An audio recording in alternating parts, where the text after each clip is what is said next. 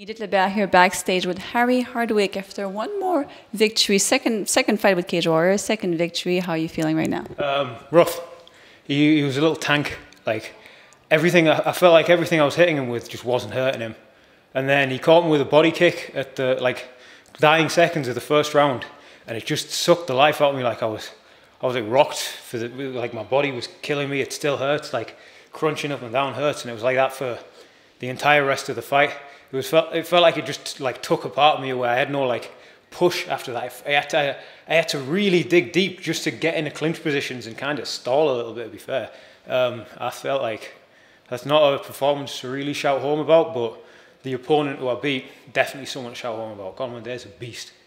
Did it happen at the beginning of the fight? Because it seems like you were getting the best of the exchanges, and then you decided to try and go for the takedowns. Is it why? Uh, at the end of the first round, he caught me with a left body kick. I don't even think it would have looked that bad on camera. His coaches definitely picked up on it because I heard them.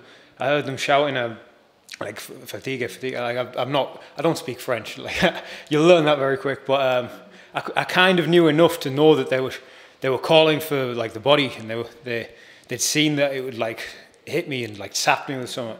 But um, yeah, it was really bad. Like every time I crunched down, um, hit me there a few other times. It was really bad. Like I was trying to protect it in the clinch exchanges.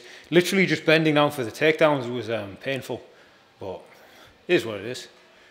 And you found it pretty hard last time to fight uh, after your brother. Are you happy you got it the other way around this time? I don't know, cause like we corner each other, and um, obviously like we try and just not be around each other when um, when each other are fighting, and it's like you kind of miss that voice, um, the sort of like self write like the writing stuff he does, you know, like little things he says.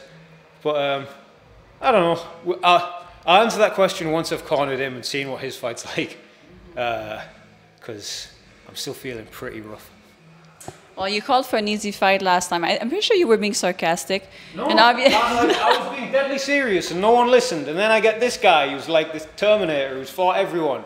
Like he took Mason Jones and Vucenic the distance. Mm-hmm. Only Jack Shaw finished him, and he's mint. So. Well, we all know cage warriors don't do easy fights, right? We well, think that pressure builds diamonds, and what.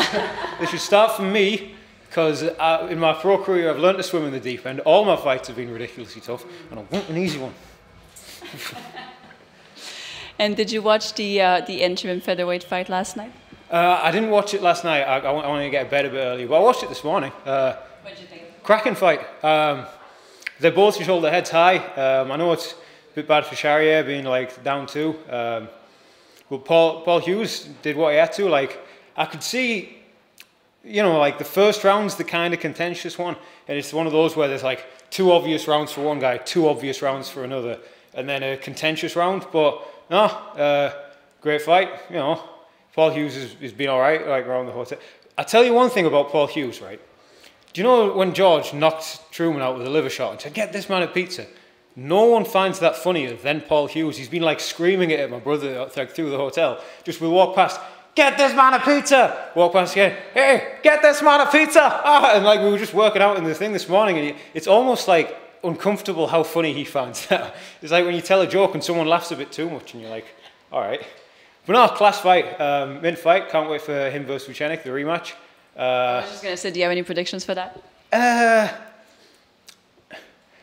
like, I'm not saying this is a diss on Vucenic, but he might get another close decision. It's kind of like the, the Thai boxing style he does. It's like built into um, like sort of a more traditional Thai boxing game where it's like one for one, but you get one better. Like if you watch how Thai fights happen in Thailand, like they they'll usually like they can consist like really good ones will consistently edge people out. Like Petrosyan's a very Thai style guy in kickboxing. He consistently will like edge people out, and that's what Vucenic's really good at. People like it's a it's a hard skill to notice, but when you notice it, it is it is good and it's impressive. Like he does a good job of just staying like one or two ahead of everyone.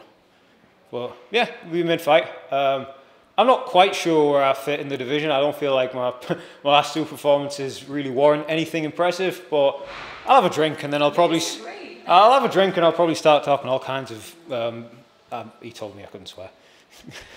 well, we find you all very impressive, so we disagree with that. And I know it was your birthday a couple days ago, so happy birthday! Yeah, and you uh, can go celebrate now. That's okay. well, I'll wait till George is fought, and then I'll get yeah. get some cake. Oh yeah, don't eat cake now. I'll, I'll, be sick straight away, honestly, my stomach's killing me.